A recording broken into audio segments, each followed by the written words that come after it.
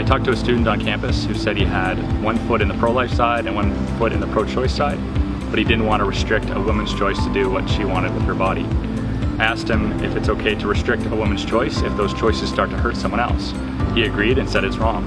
I asked him whose rights were more fundamental, the right to life of the child or the right for the mother to do what she wanted. Um, he said, he replied by saying, you totally changed my mind right there.